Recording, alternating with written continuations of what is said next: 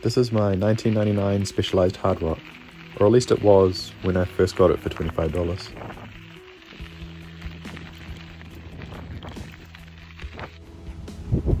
And this is it when I built it up as a towny cruiser type thing. One of the reasons why people like disc brakes is because rim brakes just don't work in the wind. So you ride through a puddle and then your brakes don't do anything, and you certainly can't skid. Okay, so that old argument is pretty silly, but disc brakes do have an advantage through water and mud. Regardless of what people say, you should just do whatever you want to do with your own bike. I'm not going to convince you to do it one way or the other. This is just the build of how I did it. Basically, because I just really wanted to try disc brakes on an old mountain bike. I got my frame modified by the best, Jeff of Jeffson Bikes. The rear brake cost $200 for the tab, and then the build climbed up to around $800 pretty quickly. I definitely could have done it for cheaper, but I splash out on a few little bits and bobs. Some things I built myself, some things were new. So let's get into it. Starting from disassembly when it was a cruiser. This was quite a few months ago. I had a bit of time um, first taking it down to Jeffson to get it modified, and then I spent some time collecting parts, sort of feeling out which way I wanted the build to go into.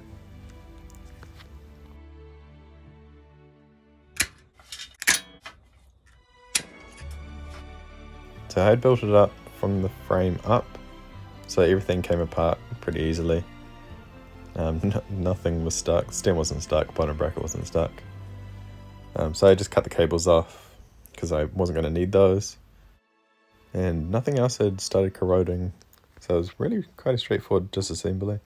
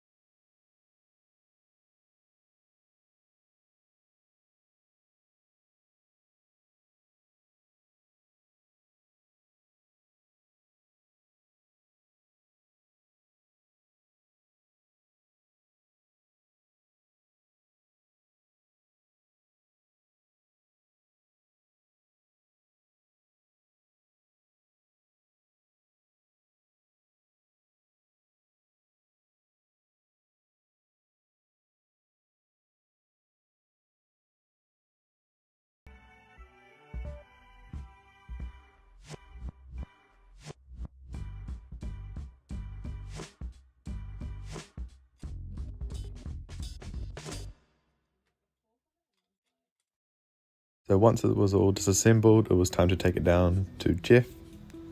Now I don't have any video from taking it down to him, so I'm just going to do a quick snap.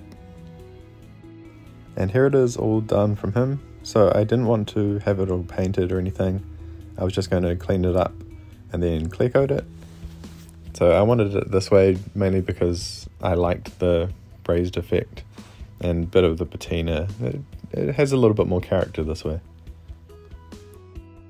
The original brake tabs were cut off and then ground flat.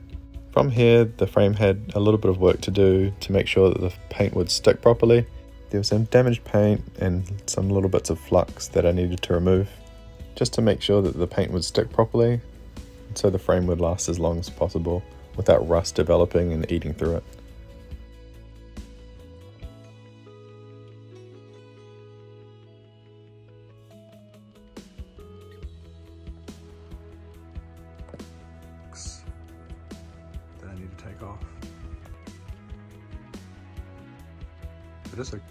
Rundown of the disc brake conversion. There is this brace here, which does have a drainage hole in it. And then actually drilled and tapped this so I still have a rear eyelet to match up with the old one. See there, boom.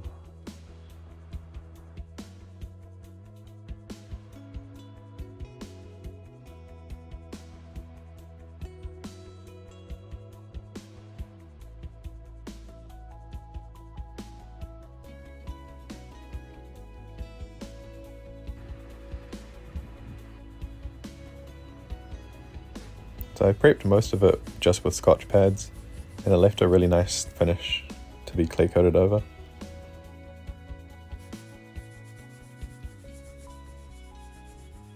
Some of the flux came off pretty easily just by sort of chipping away at it. And some of the other parts, they needed a little bit of soaking just with a wet paper towel. But it didn't take too long to get it to the point that I was happy with. Right, so the clear coat. This is one cable guide that Jeff, um, I guess he just missed. That sort of thing happens, so I just went over it and filed it smooth just to make it a little bit nicer and it's not going to cause me any issues later on. So now it's just the quick last final wipe down to get rid of all any residue that I used for cleaning. One of the really good parts about this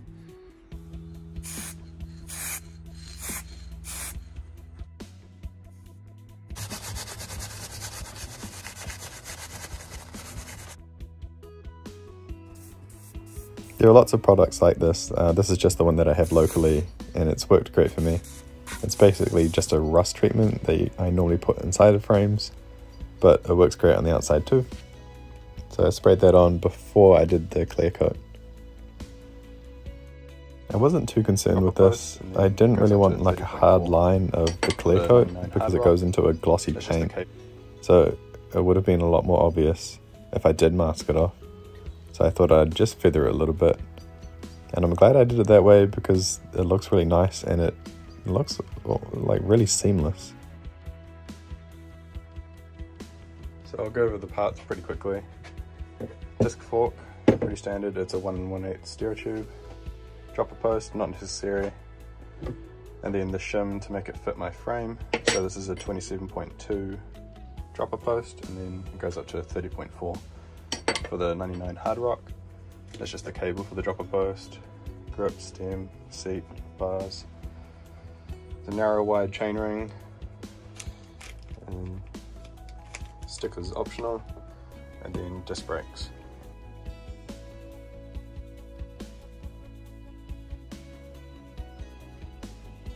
So the thumbie is quite nice. This is my first Paul Component part. Paul Component. So some of the things that are kind of variables depending on which brakes you go for. Um, so adapters and all just the little bolts and stuff that you don't have from like a non-disc bike. But um, so I'm just going with SRAM level T's. Nothing too fancy, but they'll do the trick. So this is the shifter setup that I went with. I really like friction shifting, so I wanted to go for this route mainly just to keep along with that. Um, I'm not really going to need to shift really quickly in any situation. Um, it'll be fine for off-road. I'm not going to do any downhill racing or anything like that, so that's fine. So the Paul Thumbie is a really nice part. I do have a couple of gripes with it though. One being that I don't know why they didn't just use recessed nuts as the thread. Um, so the thread is in the body of it. So if you do manage to strip a thread, then the whole part is pretty much gone. And the other thing is that the bolt that came with it wasn't long enough for my shifter. I don't know if that's an issue just with the 10 speed ones, but eh, that's what I ran into. And these are the wheels. So the front I built up with that 27.5 rim, and the rear is just a 26 inch specialized wheel that I had sitting around, just a 9 speed. The front runs a 2.1 inch tyre, but I'll put the parts list in the description below so you can check that out anytime.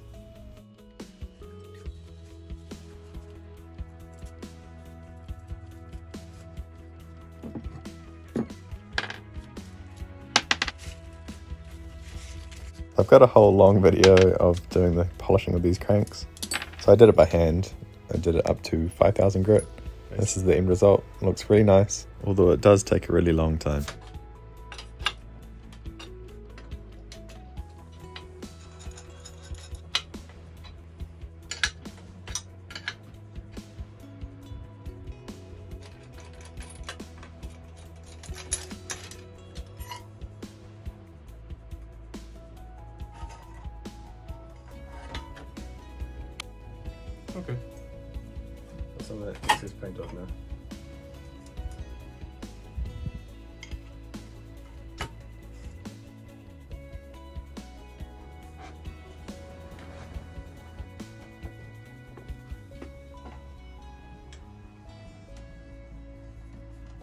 So these handlebars are from a motorbike originally. Uh, they come in a 7 8 or 22.2 millimeter clamp diameter. I've tried a few different types and these are the ones that I like the most. They've got a little bit of back sweep and up sweep to make them nice and comfortable. Friction shifting is so fucking cool. Which is kind of bullshit. I don't want to have to get new clamps, so I might just cut them off if I get sick of them. I'm also going to take that out because that'll just rattle around. But for now, just setting it up, it's just going to stay. And I'm not going to have the brakes attached because so I know I'm going to have to bleed these brakes so everything's going up loosely and I'm doing things in an order that it's going to benefit me the most be and then and then bleed them and then keep going from there.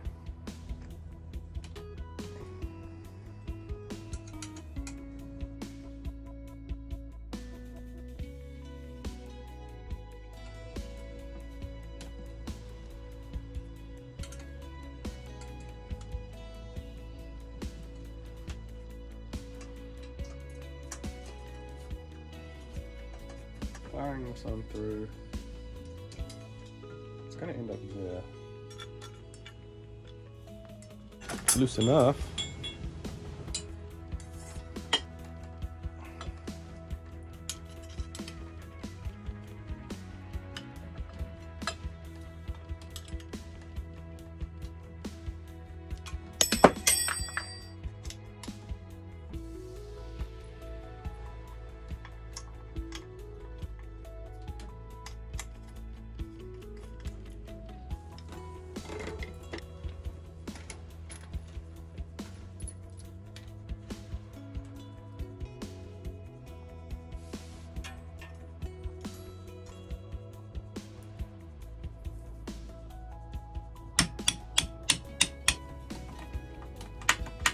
Gonna.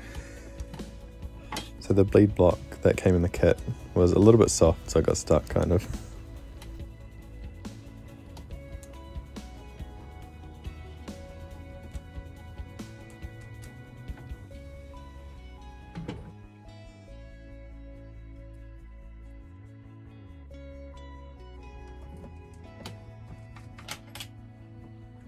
So with the brakes bled, um, install is pretty easy you just leave the caliper loose, put the wheel in, and then when you when you squeeze the lever, the brakes will sort of center itself, and then you just gradually tighten down the caliper bolts. Then just spin the wheel a little bit just to make sure that the brake isn't dragging.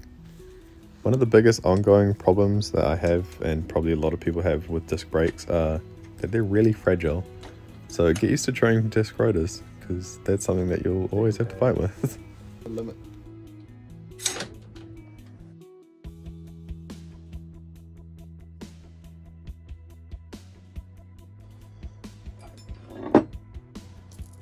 Oh, no. Before this. Let's see what the chain blah, blah, blah, blah.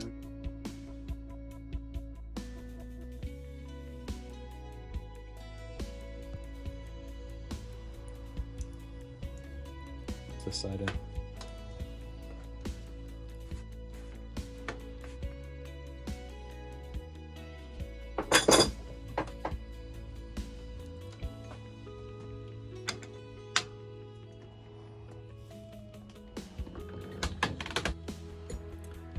So I put three chainring bolts on just to make sure that the chainring would line up with the center of the cassette, which it did.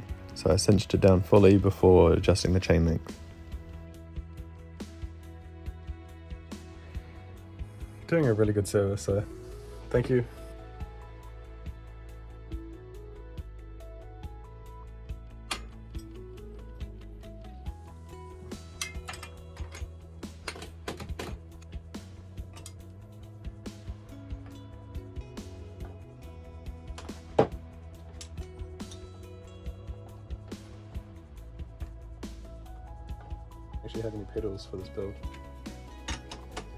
It. It's pretty common to miss one thing when you're building up a bike, so I'm pretty glad that I picked these up from Dowsey.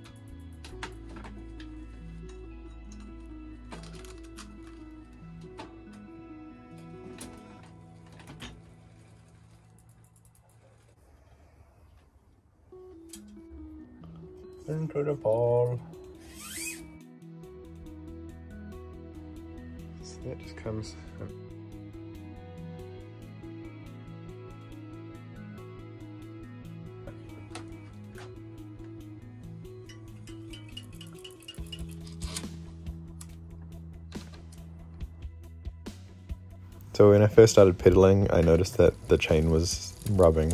Um, it was coming into contact with the rear derailleur cage, so it was in the wrong, wrong position. So I had to pull the lower jockey wheel out to get the chain out and put it in the right spot because there was no quick link in this chain. I just routed the cable incorrectly as you can see there, so normally it goes through here, but by routing it to the opposite side of the bolt it changes the pull ratio effectively. So now it pulls the cable, uh, it pulls the derailleur more than what it would without doing that mod. So that's quite a common mod um, with using road shifters on the front mountain bike derailleur. So I figured it's worth a try and sure enough it works. So now that the shifter is pulling more cable, it can fully engage the lowest gear on the rear cassette.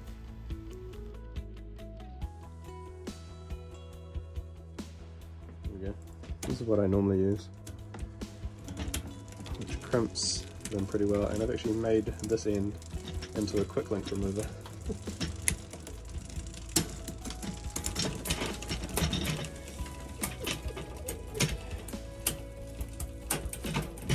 oh, that is too cool.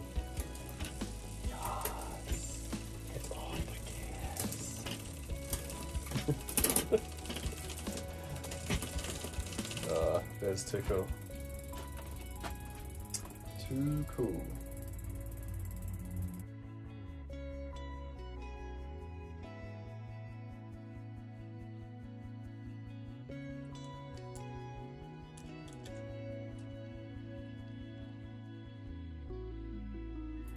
throw a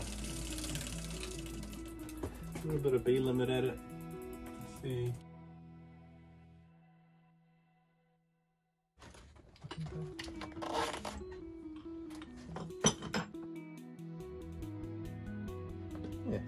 30.4. I'll offset it. Up.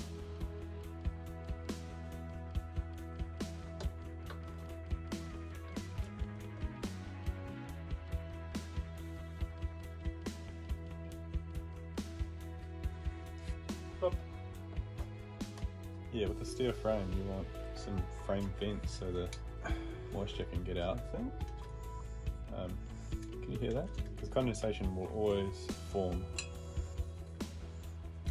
from so from the interior or the exterior being different temperatures as to vice versa.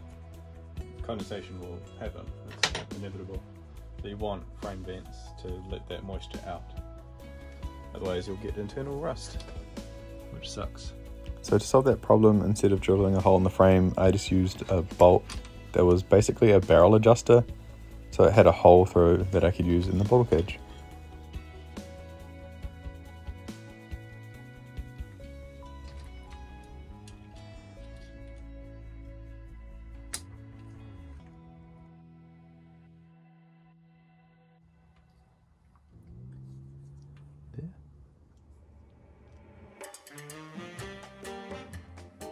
Position and angle and find the hole. Is right? It's the finicky little cut.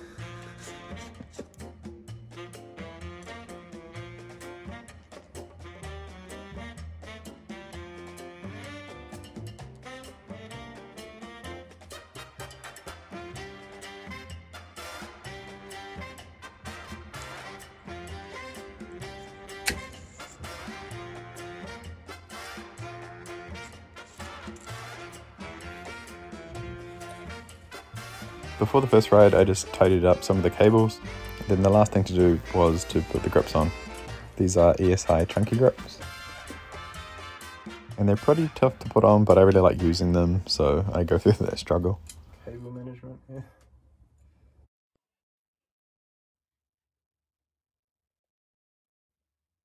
When putting on non-lock on grips, I measure them just to make sure that I put them to the right length because you can screw it up by uh, a few millimeters if you're not careful.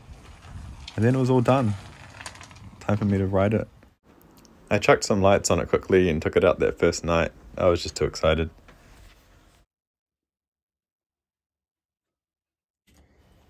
So I'm I'm so stoked with how it came out.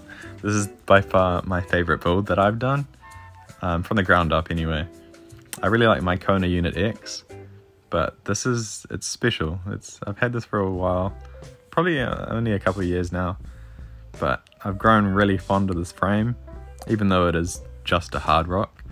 Um, I, I love it. I love it so much. And that's it. So the rest of the video will be riding footage. So I was actually really happy with how it's uh, wheelied. I'm not great at wheeling, but this bike, it, it tilted back really nicely. But going up hills, it, it didn't want to leave the front too easily. So it's quite a nice balance of wheelieable, but still climb really nicely. So long term, there will be a few changes to this bike. So first off, it'll probably be the tires. I'll change those to something a bit more road suitable. That'll be sort of short term. And then longer term, I was planning on converting it to drop bar. I'll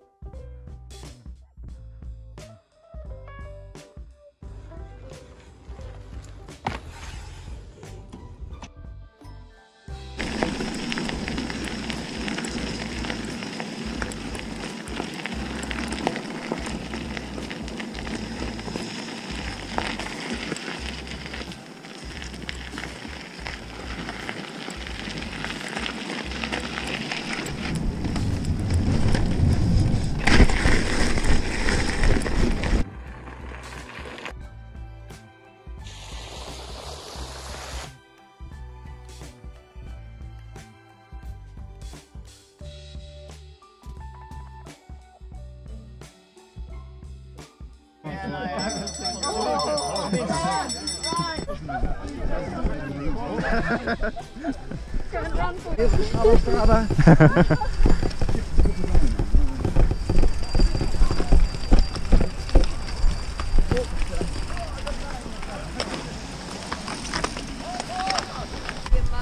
done, Mum.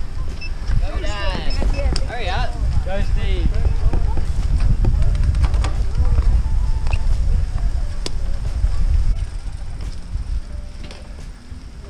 So these are some clips from a local cyclocross event that was open to all bikes.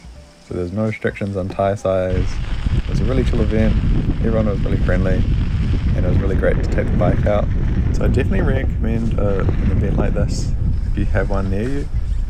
Just go along, have some fun, meet some people, take your bike out, play around in the mud. I'd definitely do the next one.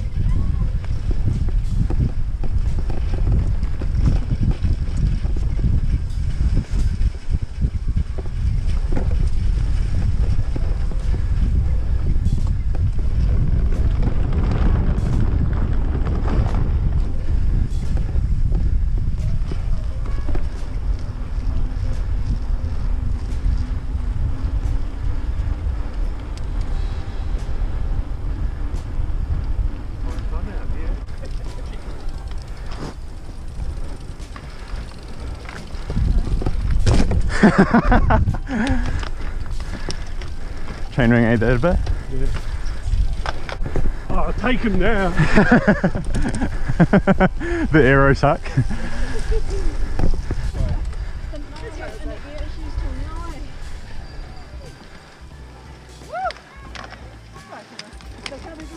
That's not strong enough.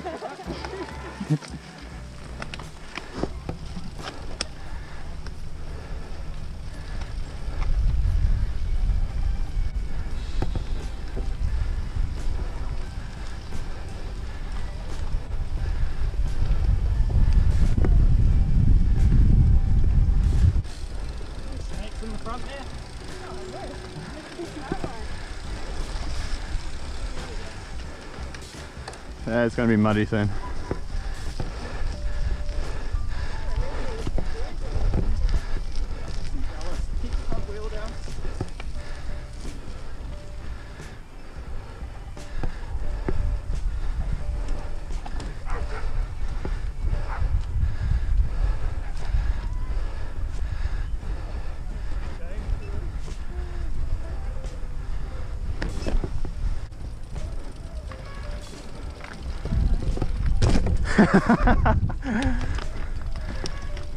Chainring ate that a bit. Yeah.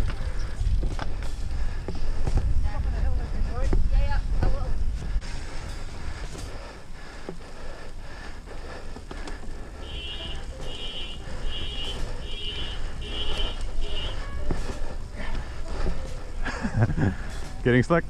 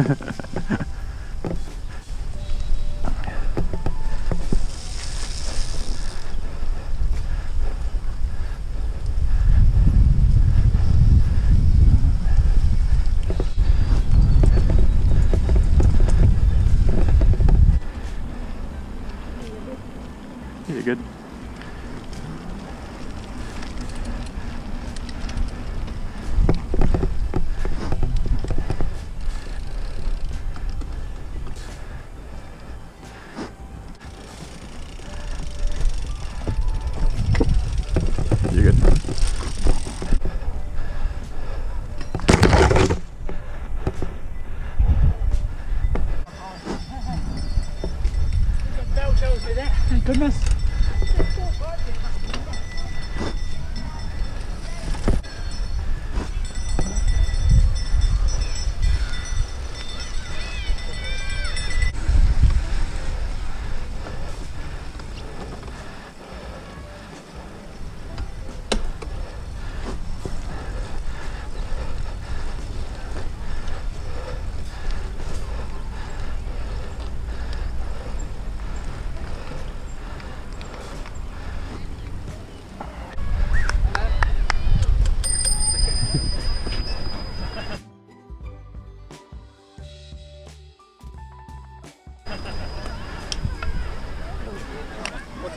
D155.